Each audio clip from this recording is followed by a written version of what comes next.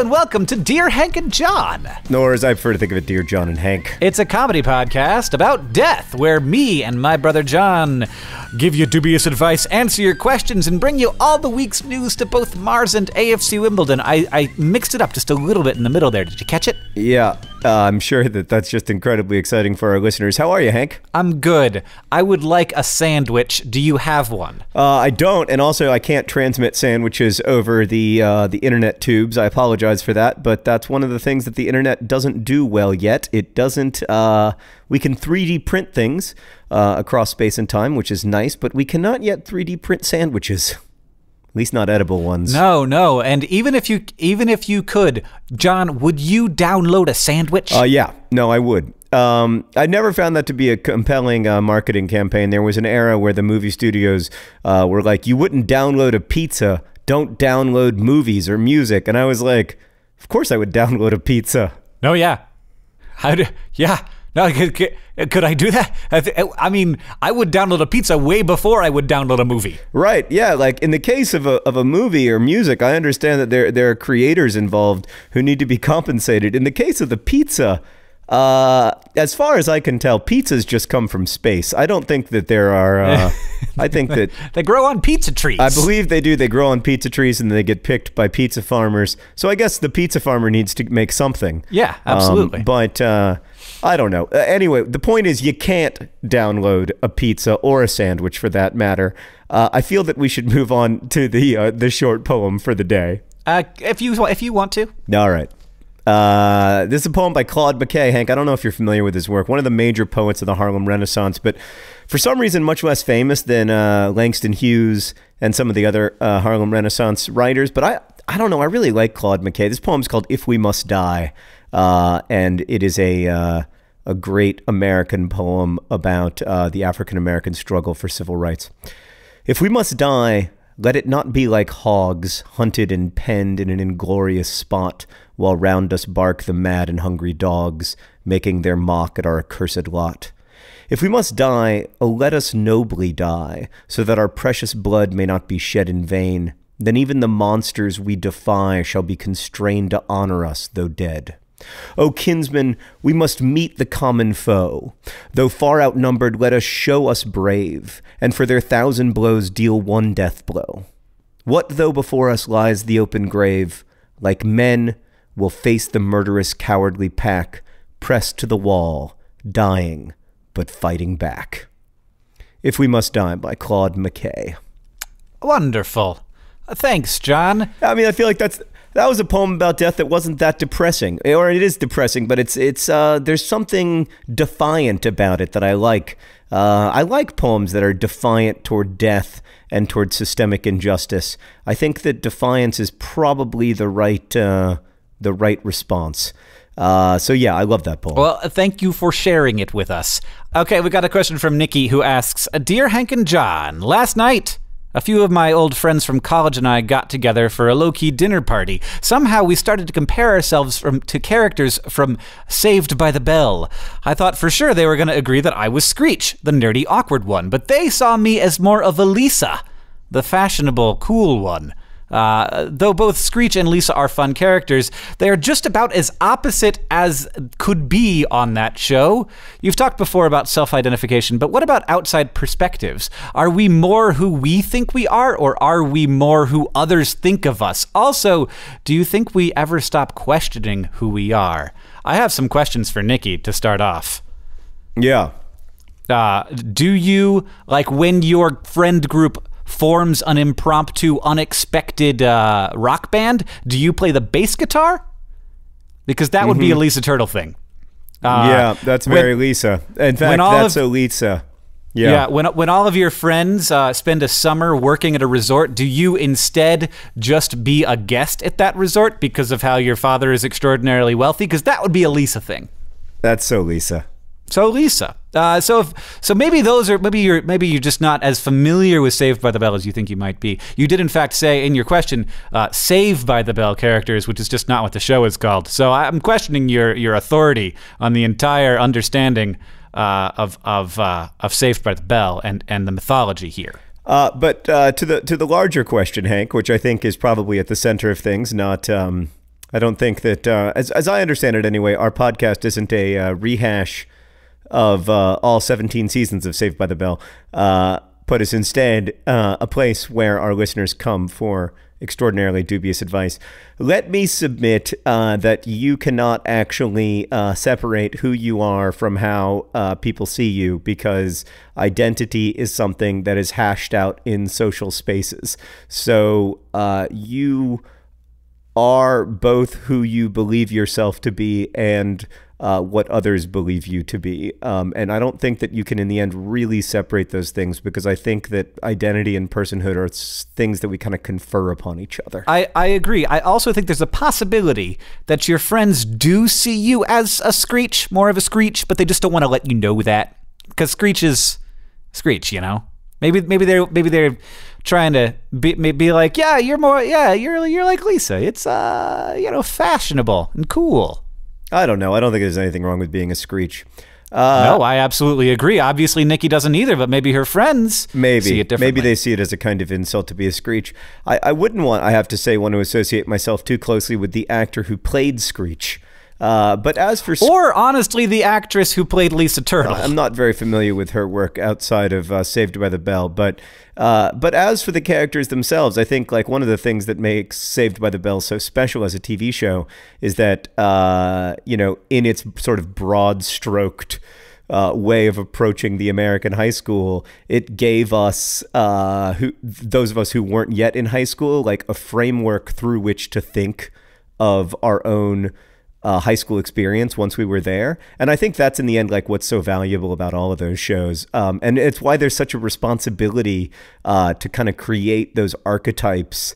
Uh, in ways that will resonate with people. It's not so much that you need to create the archetype for the student who's already in high school. You need to create the archetypes uh, thoughtfully and carefully for the students who will later use them in analyzing their own high school experience. Indeed. That's I think that was insightful, John. Oh, well, thanks. I appreciate that. Let's move on to another question, Hank. This one's from Frida, who writes Dear John and Hank, can birds fly in space? Well, Frida, can anything not fly in space? I would argue, Hank, that birds cannot fly in space on account of how, once they are in space, they are dead. So let's just assume that there's a bird that has a little spacesuit on its face and it's flying around, and but it's good. It's good. Some Sure. some way of uh, making sure it, it making it able to breathe and stuff. Uh, a bird could uh, would would uh, flap around as if it were flying in space. It would not be able to control itself in space because there's no air molecules to push against. Uh, there's a relative vacuum out there. So so birds fly by pushing against all the molecules in the, the fluid of the air. They would not be able to fly in space. Though recently I was watching uh, The Expanse, which is a very good show that is on Sci-Fi uh, Network, and uh, and they uh, one of the a lot of the uh, show takes place on Ceres, which has a very low gravity, and they have birds there, and they do fly. They just fly very differently, and they flap their wings far less than they would have to here on Earth. Uh, that sounds like a great show. Uh, It's pretty cool. Not exactly my kind of television program, and I only have time to watch about one TV show every four months. So unless you highly, highly recommend it, I don't think I'm going to get into it. Well, if you're gonna pick one, I think I would pick The Magicians uh, as a new one, which uh, was written by a friend of yours, I believe, or the book was written by a friend I of do. yours. Uh, I do like the author of that book, Lev Grossman, very much. Yes. Um, I right now I'm watching Jessica Jones, Mm-hmm. which is giving me terrible dreams. Yep. And I'm going to finish watching that, and then I might give up on TV until The Americans returns, uh, Oh. just to take a break from television in advance of my excitement about the returning Americans. well, I am also all caught up on Americans, so I, I'm also looking forward to that. All right, Hank, we've got another question. This one comes from Dylan, who asks Dear John and Frank, I am Dylan. Hmm. I'm six years old in February. I like listening to the show with my mom and dad. I have a question about lava combined with the sun. If you could get lava to the sun, what would happen to it? Best wishes, Dylan. First off, Dylan, let me just say that as a parent of a six year old, I am very impressed with your podcast listening habits. My own son refuses to listen to this podcast, so thank you. Uh, additionally, hello, Dylan. My name is Hank. Uh, Frank's fine though. You could. That's fine. I prefer I prefer if you call him Frank Dylan. All right. Uh, if you if you could get lava to the sun, uh, it would it would probably uh, get even hotter than it already is. So lava is hot, but the sun is hotter, especially on the inside. Uh, so that lava would uh, would get so hot that it would go from what it is now, which has is is a rock that got so hot that it turned to a liquid. Then, uh, when a liquid gets even hotter, like when you boil water, that liquid turns into a gas. So that uh, that rock would go from from liquid as lava, and then it would turn from from if you can believe this, from lava into rock gas. So that is what uh, that is that is part of what at least would happen if you brought lava to the sun. Wow, rock gas would be a pretty good name for a rock band. Yeah. No. Uh, actually, uh, have you ever heard of Le Pétomane? No.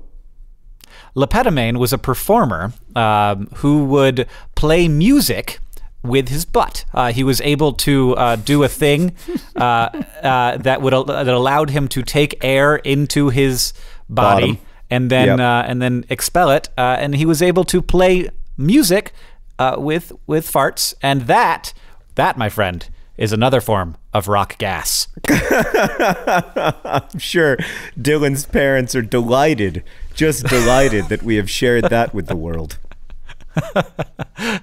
All right, I have another question, John. Do you want to hear it? Yes.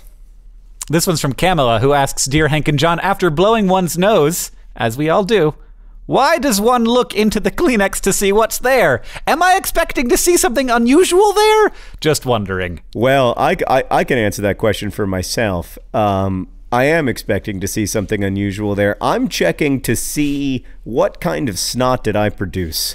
Uh, you know, is there blood in there? Is it clear?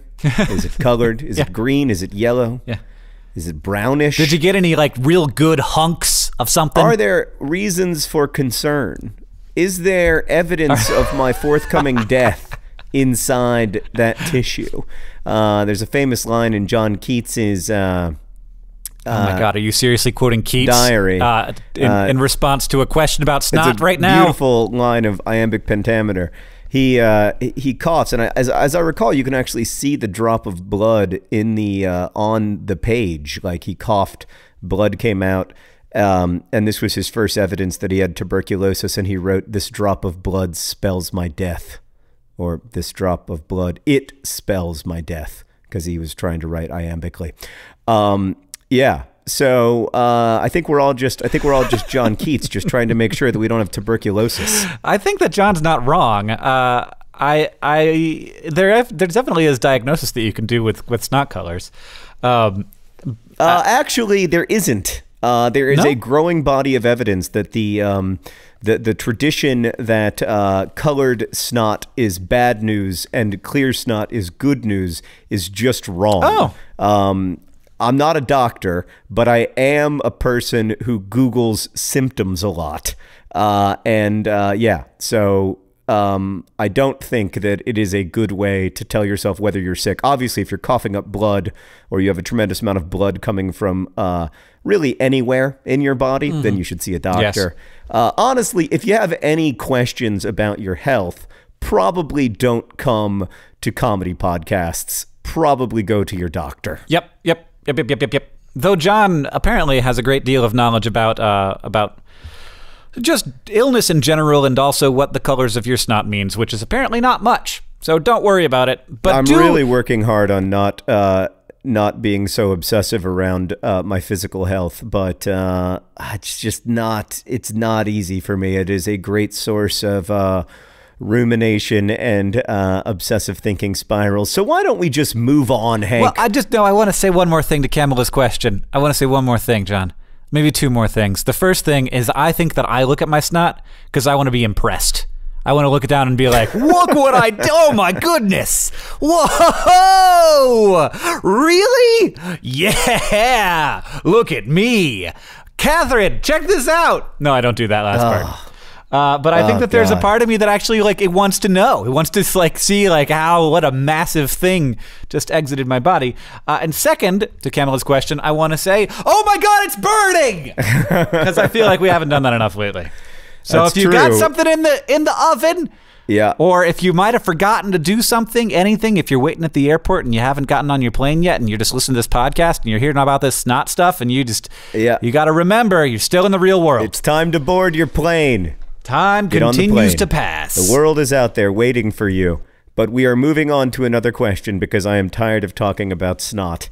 Uh, this question is from Nathan, and it's the kind of like deep, penetrating, and complicated question that we love to sink our teeth into. Hank, dear John and Hank, coconuts have hair and produce milk.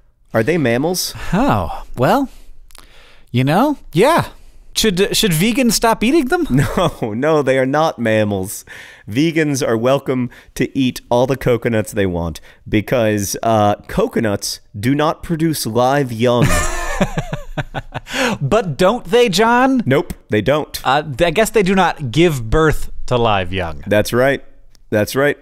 Coconuts Okay. do not give birth to live young. So, uh, vegans rejoice. Coconut milk is back on the menu. Uh, a- additionally, John, there is a uh, there is another important uh, important uh, characteristic of mammals, which is the three inner ear bones. What? Uh, and coconuts also do not have Ears. those three inner ear bones. Well, is that true that all mammals have three inner ear bones? Yeah, it's uh, weirdly enough, it is one of the the, the defining characteristics of mammals is uh, are are the ways that our inner ear works. I do not know why. Weird. I'm pretty sure. Yeah. Pretty sure that I'm not making this up. Yeah. Well, I mean, do people come here for like solid factual science or do they come here to find out about uh, you know the fact that there was once a musician who used uh, their farts to make music Uh, I looked it up, John. It says mammals. This website here, which seems like a legitimate place, it says mammals possess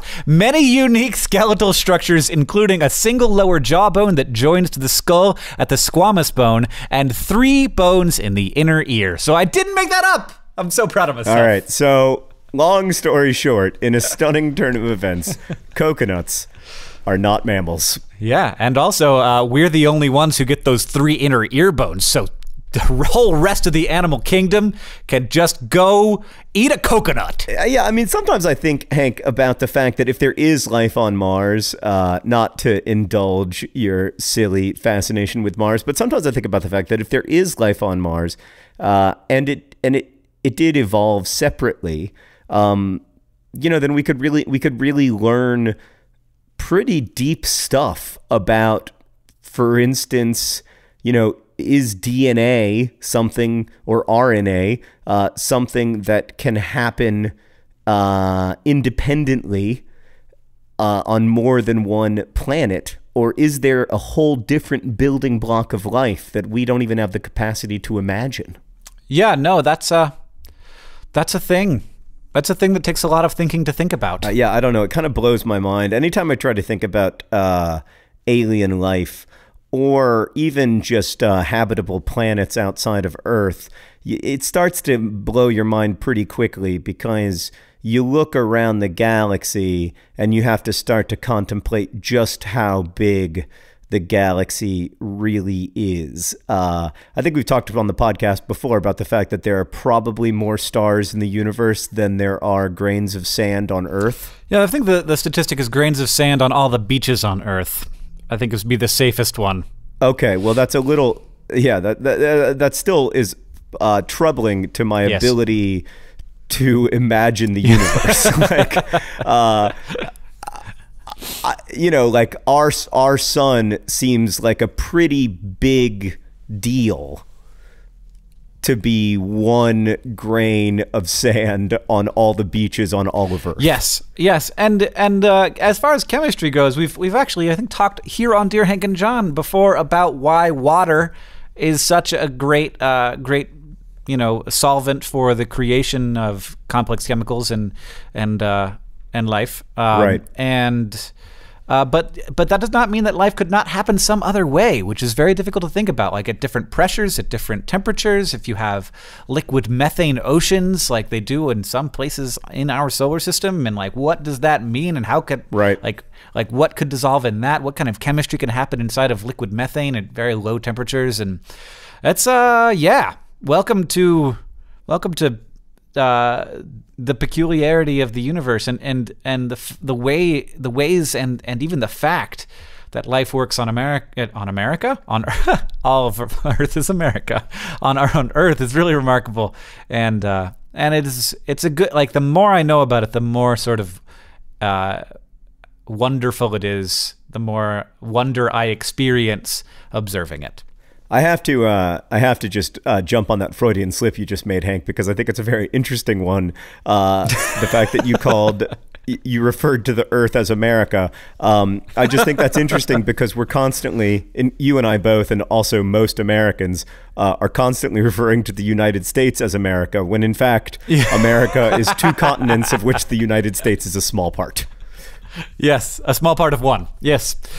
Yes. Uh, well, as as you may have heard, America. Dang it. Uh, and do we have a lot of the people? Not really. No. But we're America, so yeah, who cares? We don't have a lot of the people. We do have a unique gift for uh, narcissism and, and for viewing our uh, particular slice of America as being, uh, in some ways, uh, you know, unique and exceptional. Yes. Well, you know, um, you, the United States of America does not have the most people, but I bet you, John, that it does have the most corn dogs. and that's also, right. I bet the most podcasts. Okay, let's move on to another question since that's uh, what this podcast is ostensibly about. This one is from Kelsey, who writes Dear John and Hank, my mom and I are going to visit her childhood best friend this summer. It all sounded great until my mom told me that her friend is a minister and that she's going to baptize me while we're there. For one reason or another, my parents never found time to baptize me when I was a baby, and now that I'm 20, I'm not sure that I even want to be baptized. I know that John would say I should use my words and tell her about my uncertainty, but when I tried to explain that I might not even believe in God, she essentially told me that I didn't know what I was talking about and that getting baptized isn't really a choice. Long story short, is there any way to avoid hurting my mom while also staying true to what I believe or don't believe? Any advice, even if it's dubious, would be greatly appreciated. Hank and I are going to disagree in our answer, Kelsey. Well, I don't know that I'm even going to be able to come up with one, so you go ahead and go first. All right, here is my answer. Um, just get baptized. It's not going to hurt you. It's not going to hurt anything. You'll be fine. It doesn't matter. That's my solution. And I don't think Hank is going to agree with that at all. Well, I th- that was as, that was as close as I was going to get to an answer. I, I mean, like, oh, you agree with there's me? just get baptized. Yeah, there's just get baptized, but then there's a larger thing. Is it like is it just get baptized and also just don't tell your mom about the things that you believe ever? No, I don't think that's. Uh, here's, I mean, my argument in favor of. Uh, of just getting baptized is that it will bring uh, great joy and comfort to uh, your family while hurting you very, very little because it's just water. um, I mean, I would make sure that it's clean water. I would ask for it to be maybe bottled water, depending on where you're traveling to. But uh, but yeah, I mean, for me, it's like uh, the the ritual only matters if you in, imbue it with mattering. Uh, so I'm a big believer in uh, taking the easy road. I, I think I might have told you this story before, but um, when I got married, I had to say, um, have I told you this story before, Hank? That I had to say that I was going to raise my kids in the Catholic Church because Sarah and I got married in Catholic Church. Yes, this is. I've told this on the podcast. I don't think you've told it on the podcast, but you have told me this. Yeah. All right. Well, so I called my dad because I was really upset about it, and my dad um, you know, because I'm I'm Episcopalian, which is very similar to Catholicism, but whatever. It's different enough that I felt weird about saying I was going to raise my kids Catholic, and um, I apologize in advance to our hardworking editor Nick for the fact that he's going to have to bleep my father's response when I uh, expressed concern about this, because Dad said, um, "Well, just say it. Do you think God gives a?"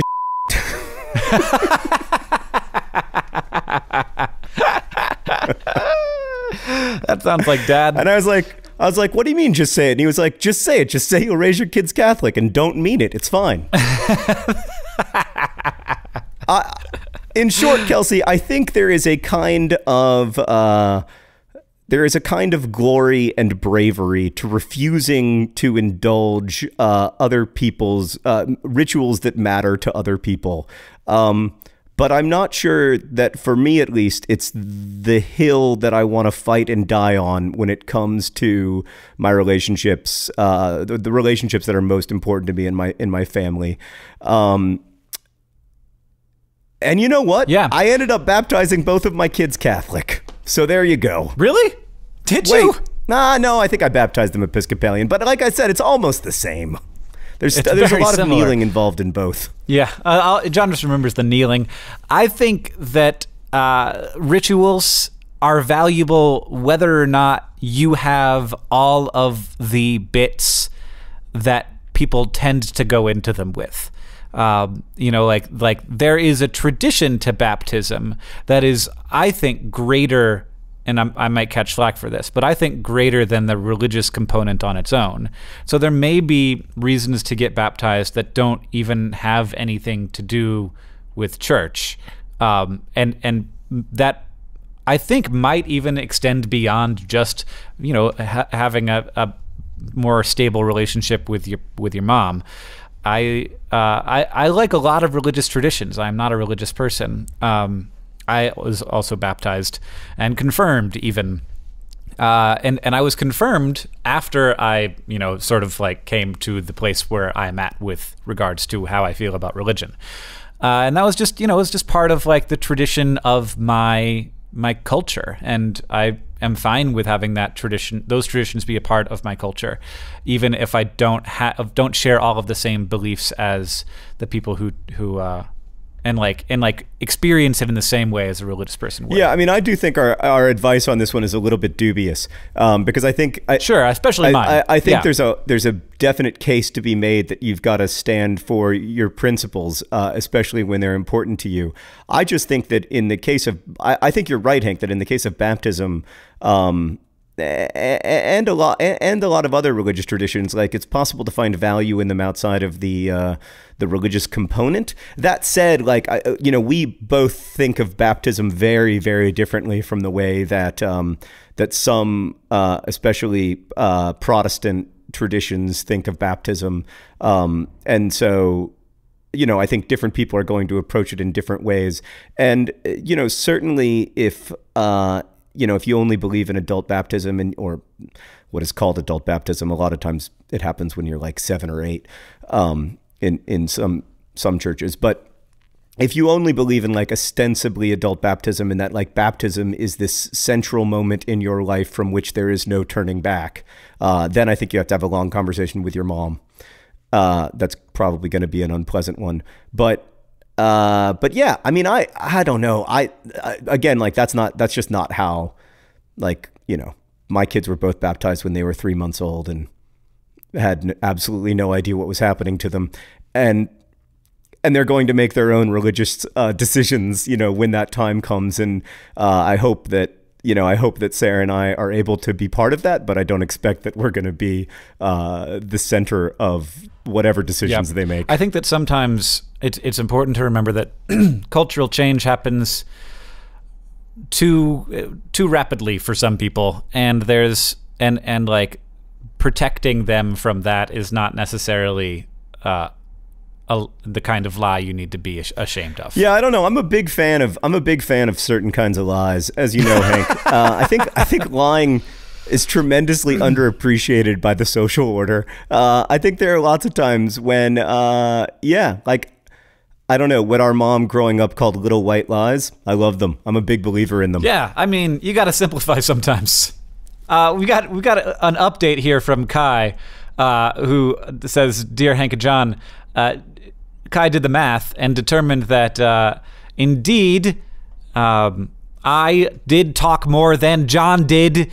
In episode 32, it happened. I talked for 23 minutes and 26 seconds, while John, including the short poem, spoke for 23 minutes and 14 seconds. So I beat you, John, by 13 seconds. oh no. Yeah, no, by three seconds. By three seconds. I'm bad at math. I beat you by three seconds, John. Nope, I did it wrong again. I beat you by 12 seconds, John. I kept looking at the wrong number. I did it by 12 seconds. I beat you.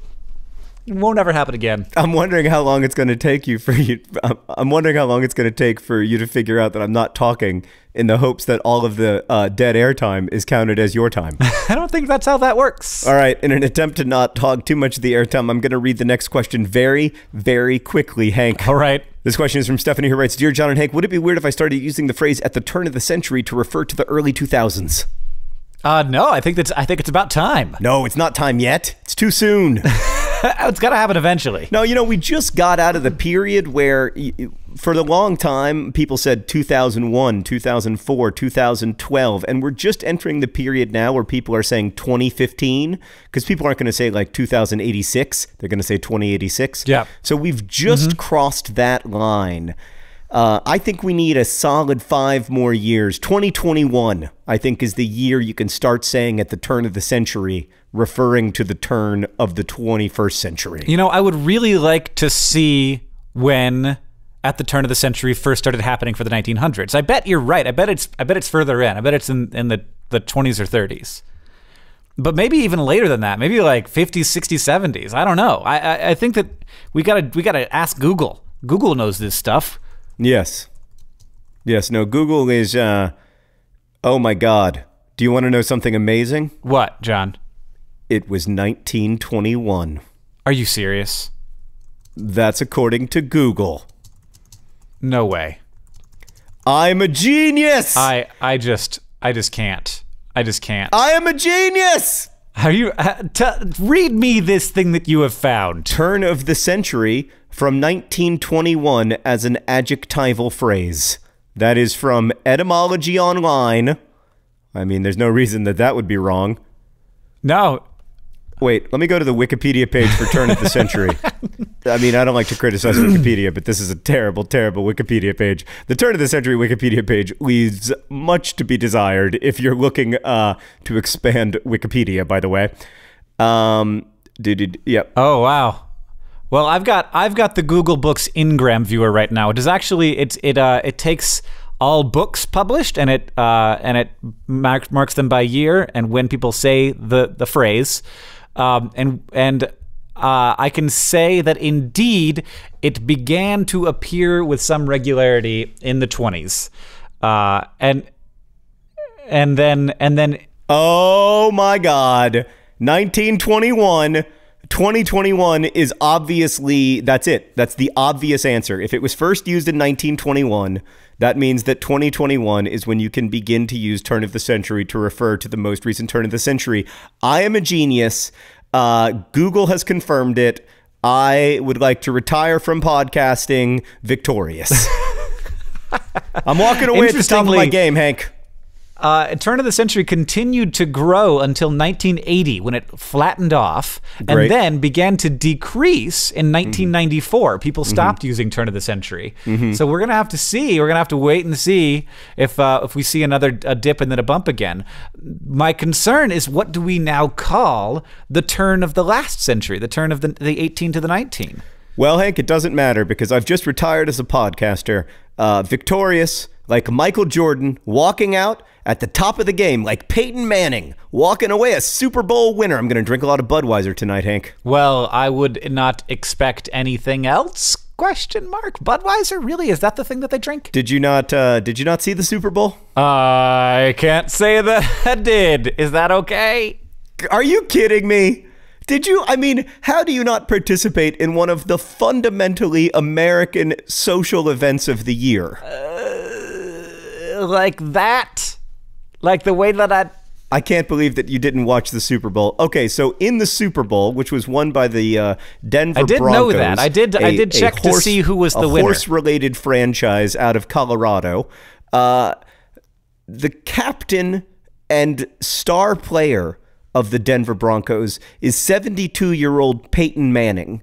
uh, who has had like uh, neck fusion surgery 14 Mm-hmm, times and cannot even like bend over to tie his own shoes, but is somehow still the starting quarterback of the Denver Broncos. After the game, uh, when asked whether he was going to retire, he answered by saying, I'm going to talk to my family. I don't think that now is the time for rash decisions. I'm just looking forward to drinking a lot of beer tonight with my teammates. And then he paused and then he looked directly in the camera and said, I'm going to drink a lot of Budweiser. Wow. This is a critical moment in the history of advertising, Hank, because what's most interesting about Peyton Manning's statement, I'm going to drink a lot of Budweiser, is that by all accounts, he was not paid to say that. So he just he, but he has previously been paid by Budweiser. Uh, I don't know that he has actually, but he does own a portion of a few Anheuser-Busch uh, distributors. Oh, well that's not that's that's different. That's different, right? But that's still that's still marketing. What I thought was most interesting about it is that, like,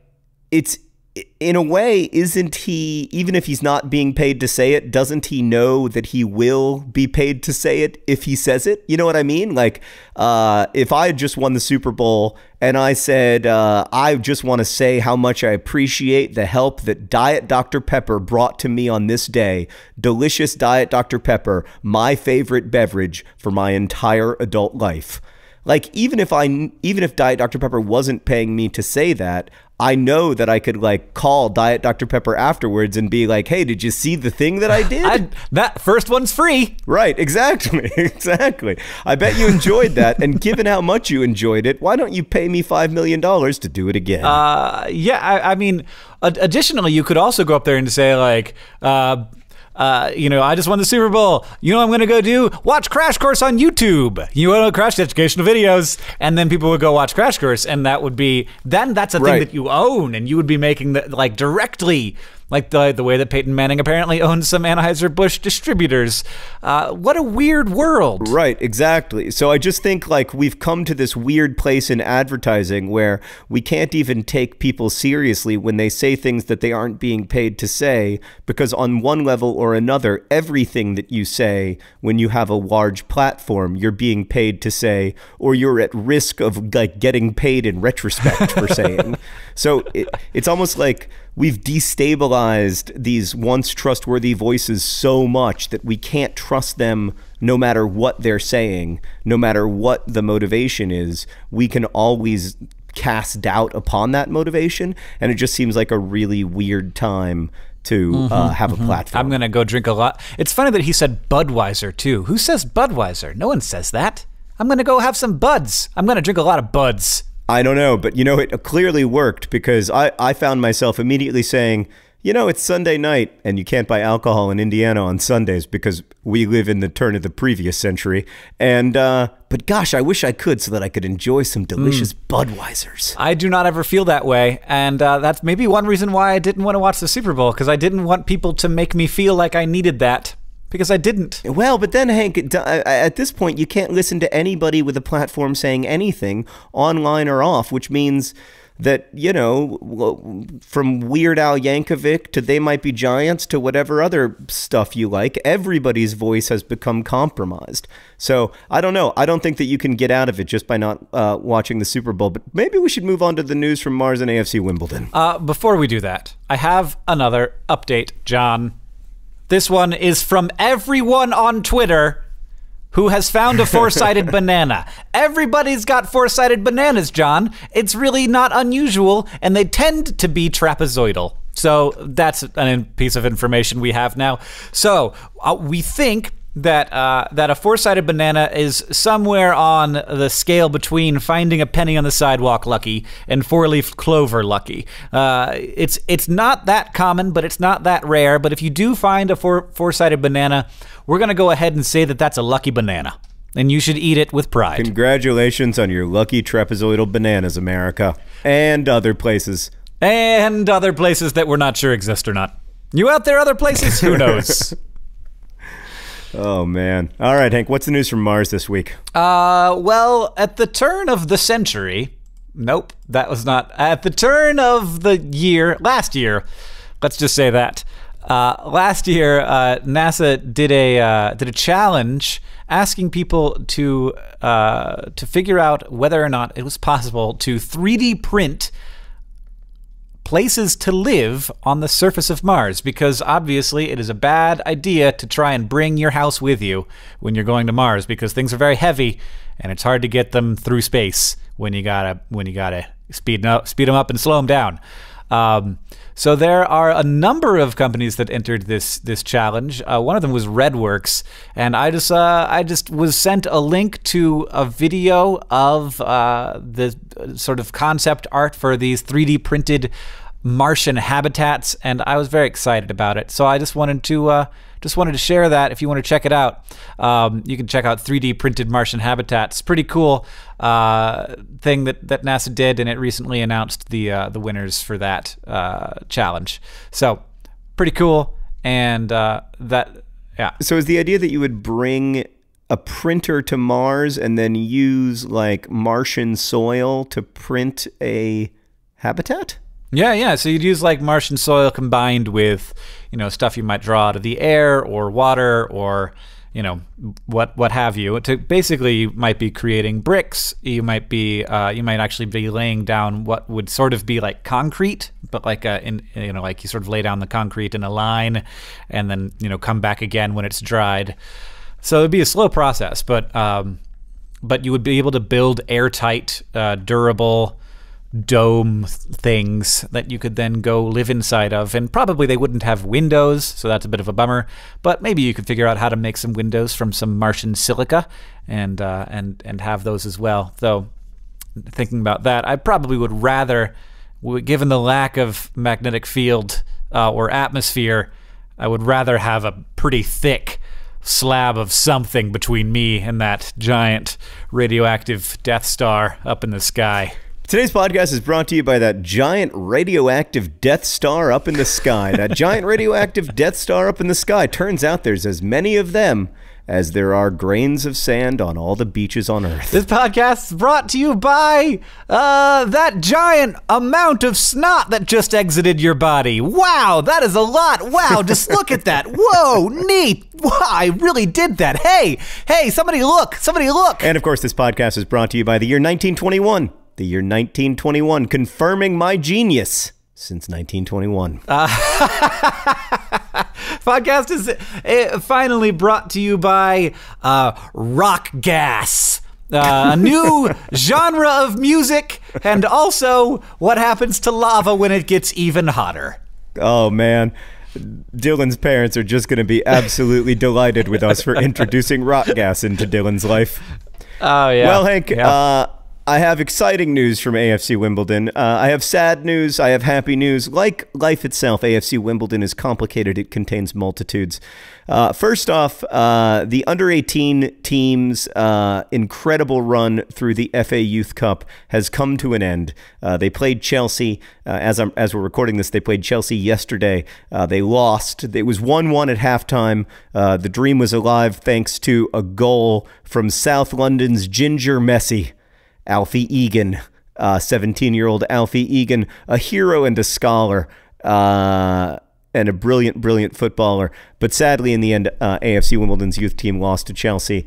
Uh, I mean, Chelsea has one of the strongest youth squads in the world, so not, not a huge surprise, but it was a great, uh, great performance nonetheless, and an amazing run through the FA Youth Cup for uh, the young Dons.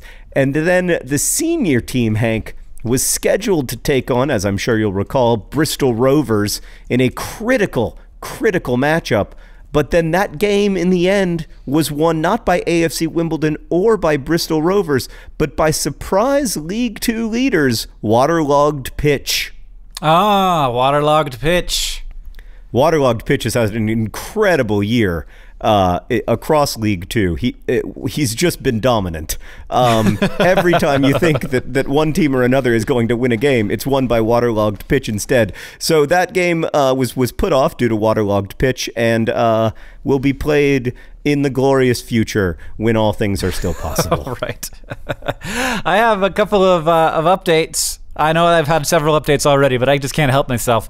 I said last episode that uh, that bacteria I, I just was metaphorically sort of whimsically using the phrase cell wall to to indicate uh, some kind of defense bacteria. Uh, defense mechanism for bacteria. Bacteria do, in fact, have cell walls, and I was saying, like, if only they had cell walls, but they do have cell walls and whatever. But I just wanted to make sure that everybody was on the same page here. I was using that as floral language. In fact, it is a technical thing, and they do have them. Uh, secondarily, uh, I just want to say, John, I found a podcast uh, a couple weeks ago that is, wait for it, it's a, a few brothers, three brothers, not two, but three, uh, and they uh, answer people's questions and give them dubious advice. Um, and their podcast has been going on for about five years, and it's really good. And I feel a little like I stole their idea. I promise I didn't. It's called My Brother, My Brother and Me. It's very funny. It is basically, I mean, it's so much funnier. It's it's funny. It's actually funny, which is how you know it's funnier than Dear Hank and John. we do set a low bar to jump over. Yeah, they talk almost none about death, uh, which is a little bit disappointing. Uh, but they uh, they answer questions both from their viewers and from Yahoo Answers. It's very funny. Uh, I've been listening to it at the gym, and I often almost hurt myself because uh, you need to be careful. They, you never know when they're going to make you laugh way too hard. Um, so, My Brother, My Brother and Me is a great podcast on iTunes. We didn't steal their idea, but if you want a comedy podcast with more brothers, yet more brothers, these are the McElroy brothers rather than the Green brothers, giving uh, dubious advice and answering questions. There's another one every single week, and uh, it, it you, you will enjoy it differently. Uh, and I'm not going to say whether you'll enjoy it more. That's for you to decide, listener. Uh, we also want to thank everybody who supports uh, the podcast uh, on Patreon. Uh, we really, really appreciate it. We got to do a uh, one of our monthly hangouts with our patrons last week. It was super fun. So uh, if you want to be part of that or support uh, Dear Hank and John directly, you can do that over at uh, just Google Patreon Dear Hank and John, and it'll take you right there. Hank, what did we learn today? Oh, John, you know, we learned that there's a six year old out there who thinks I'm named Frank.